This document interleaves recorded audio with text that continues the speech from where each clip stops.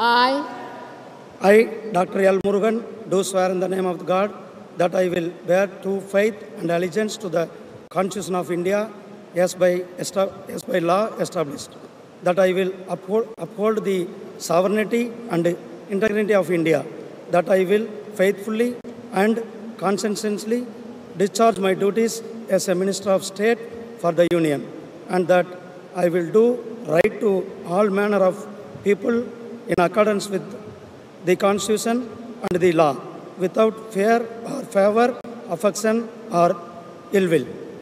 I, I, Dr. L. Murugan, do swear in the name of God that I will not directly or indirectly communicate or reveal to any person or persons any matter which shall be brought under my consideration or shall become known to me as a Minister of State for the Union, except as may be required for the due discharge of my duties as such Minister of State.